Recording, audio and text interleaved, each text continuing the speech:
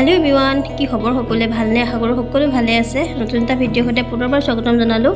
আৰু ইয়াত দেখিছেনে আজি বতৰ ইমান ধুনীয়া একদম ফৰকাল হৈছে। আৰু ওপৰলৈ আহিছিলোঁ ছাতৰ ওপৰত কাপোৰ মেলিবলৈ। ভাবিলোঁ ভিডিঅ'টোৱে ষ্টাৰ্ট কৰোঁ এইখিনি সময়ৰ পৰাই। গোটেই দিনটোৰ ভিডিঅ'টো দেখাবলৈ চেষ্টা কৰিম। আশা কৰোঁ ভিডিঅ'টো চাই ভাল পাব আৰু শেষলৈকে চাব। আৰু ওপৰত আহি অকণমান পৰিৱেশটো দেখাই দিলোঁ। সেই অলপ আগতে মেইন ৰাস্তাটো আছে ইয়াৰ পৰাই দেখি থাকিব পাৰি।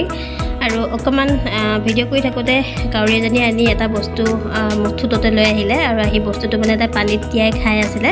তাকে অকণমান আপোনালোকক ভিডিঅ' কৰি দেখালোঁ। আৰু দেখিছে চৰাইও কিমান বুদ্ধি আছে। অকণমান টান হ'লে পানীত তিয়াই খাই থাকে।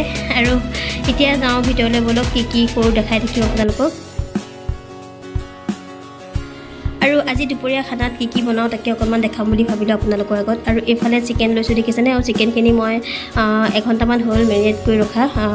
হালধি আৰু ৰেড চিলি দি অকণমান মানে মেৰিনেট কৰি ৰাখিছিলোঁ। আৰু সেইখিনি এঘণ্টামান হৈ গ'ল। এতিয়া কেৰাহীখন পাতি তাতে দিছোঁ গোটা গৰম মছলা আৰু শুকান জলকীয়া। আৰু লগতে দিছোঁ পিঁয়াজ। আৰু পিঁয়াজখিনি অকণমান ভাজি ল'ব লাগিব। আৰু বহুত দিন হ'ল মাংসৰ ৰেচিপি দিয়া নাছিলোঁ। আজি ভাবিলোঁ চিম্পুলকৈ অকণমান মাংস বনোৱা হওক আৰু ৰেচিপিটো আপোনালোকৰ আগত শ্বেয়াৰ কৰোঁ। আৰু মানে অকণমান পিঁয়াজখিনি আধা ভজা হোৱাৰ লগতে তাতে দিছোঁ বিলাহীখিনি আৰু বিলাহীখিনিও ভাজি থাকিম আৰু ইয়াতে এতিয়া অকণমান শুকান মছলা পেষ্ট এটা দি দিম। আৰু শুকান মছলাত আছিলে ৰেড চিলি ধনিয়া গুড়ি আৰু মিট মছলা এনেকৈ আছিলে। আৰু সেইটো পেষ্ট বনাই দিলোঁ আৰু লগতে আদা নহৰু পেষ্টো দিছোঁ। আৰু এনেকৈ মছলাখিনি ভাজি ল'লোঁ আৰু ভাজি লোৱাৰ লগতে ধুনীয়াকৈ মাংস আৰু আলুখিনি দি দিলোঁ। এনেই মাংস মাংসত মই আলুখিনি ফ্ৰাই কৰি লওঁ। কিন্তু আজি কেঁচা মাংসৰ লগতে মই আলুখিনি এনেকৈ দি দিছোঁ একেলগে।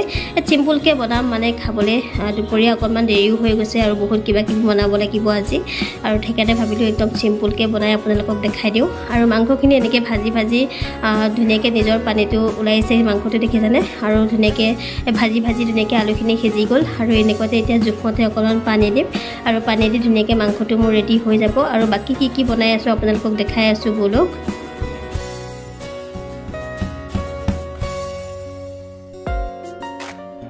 আৰু ইফালে মাংসটো উতলি হৈ গ'ল আৰু মাংসটো নমাই হোৱাৰ পিছতে মই ইফালে কোমোৰা জালি আছিলে কোমোৰা জালি আৰু আলু এনেকৈ কাটি ৰাখিছোঁ আৰু এয়াও অলপ ভাজি লওঁ।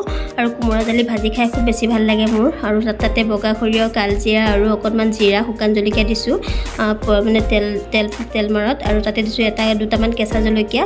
আৰু দি এতিয়া ধুনীয়াকৈ এইখিনি পিঁয়াজ দিছোঁ পিঁয়াজ দি এইখিনি ভাজি ল'ম। আৰু এনেকৈ কোমোৰা জালি যে ভাজি খাই সৰিয়হ দি খুব বেছি ভাল লাগে মই বেছি ভাল পাওঁ মানে। গৰম গৰম ভাতৰ লগত আপোনালোকে খাই নাখাই কমেণ্ট কৰি জনাব।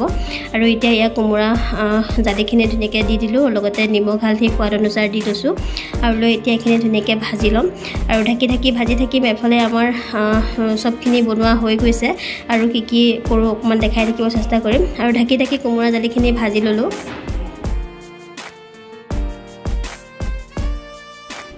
আৰু এইফালে এয়া ভাত হৈ গ'ল দেখিছেনে? আৰু লগতে মাংসখিনিও হৈ গ'ল। আৰু এইফালে মই ভাজি আছোঁ কেৰাহীত এইখিনি ভাজিখিনি। ভাজিখিনি অলমষ্ট হৈয়ে গৈছে। আৰু ভাবিলোঁ লগতে অকণমান আনাৰস এটা আছিলে আৰু আনাৰসখিনিও অকণমান ধুনীয়াকৈ ভাজি লওঁ। আৰু আনাৰসৰ আনাৰস খালে মোৰ এলাৰ্জি হয় আৰু এলাৰ্জিৰ কাৰণে মই আনাৰসটো কাটিবও নোৱাৰোঁ। আৰু মানুহজনে ধুনীয়াকৈ কাটি দিছে সেইকাৰণে। আৰু আনাৰস খালে মোৰ এলাৰ্জি হয় আৰু শুংবোৰ থাকে যে।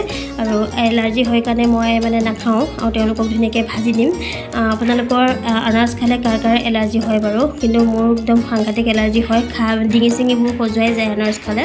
আনাৰস খাব নোৱাৰোঁ আৰু সেইকাৰণে মই নাকাটোঁ। আৰু এইকাৰণে মানুহজনে কাটি দিছে আৰু মই ধুনীয়াকৈ আনাৰসখিনি ভাজি ল'ম।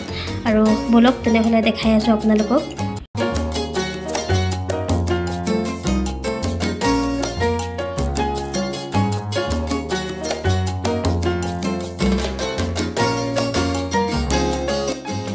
আৰু এইফালে আনাজখিনি মই আৰু অকণমান সৰু সৰু কৰি ল'লোঁ এনেকৈ চুৰিখনে। আৰু আনাজখিনি ভাজিবৰ কাৰণে মই কি কি লৈছোঁ অকণমান দেখাই দিছোঁ। মিঠি গুটি লৈছোঁ কালজিৰা কেঁচা জলকীয়া শুকান জলকীয়া আৰু কেইটামান বগা সৰিয়হ লৈছোঁ আৰু এইখিনি আনাৰসখিনি আৰু তেলতে দি দিছোঁ গোটেই কেঁচা মানে শুকান জলকীয়া আৰু গোটেইখিনি শুকান এইখিনি মছলাখিনি আৰু দি লৈ এইখিনি অকণমান ফুটালৈকে ভাজি লৈছোঁ। আৰু এনেকৈ আপোনালোকে আনাৰস ভাজি খাবচোন বহুত ভাল লাগে খাবৰ কাৰণে। মিঠা জ্বলা টেঙা এনেকুৱা হৈ যায় খাবলৈ ভাল লাগে। আৰু এইফালে আনাৰসখিনি মই দি দিলোঁ দি ইয়াতে হালধি নিমখ দি দিম। আৰু আনাৰসৰ ভাজি খাই কোনে কোনে ভাল পায় কমেণ্ট কৰিব। আৰু এওঁলোকক মই খাব দিছিলোঁ। আগতে খাইছিলোঁ কিন্তু এতিয়া মোৰ এলাৰ্জি হয় খাবলৈ মানে। সেইকাৰণে খাবলৈ ভয় লাগে। খালে মানে ডিঙিবোৰ খজুৱাই থাকে যে। সেইকাৰণে খাবলৈ মানে অকণমান এৰি দিছোঁ আৰু এওঁলোকক খাবলৈ দিম। আৰু ইয়াতে নিমখ হালধি সোৱাদ অনুসাৰ দিলোঁ দিলোঁ। এতিয়া অকণমান ভালকৈ ভাজি থাকিম। আৰু আনাৰসৰ ভাজিখিনি ৰেডি হৈছে আৰু লগতে অকণমান দালচেনি গুড়া অকণমান দি দিছোঁ আৰু এইখিনি নমাই ল'ম এতিয়া। ধুনীয়াকৈ প্লেটত সজাই দেখাই আছোঁ। আৰু এয়া দেখিছেনে একদম গৰম গৰম ভাতৰ লগত খাবলৈ আনাৰসৰ ভাজিখিনি ৰেডি হৈ গ'ল। একদম ধুনীয়া লাগে খাবলৈ আপোনালোকে খাই চাব। তেনেহ'লে ভাত পানী খাই কৰি লৈ পিছত লগ পাই আছোঁ।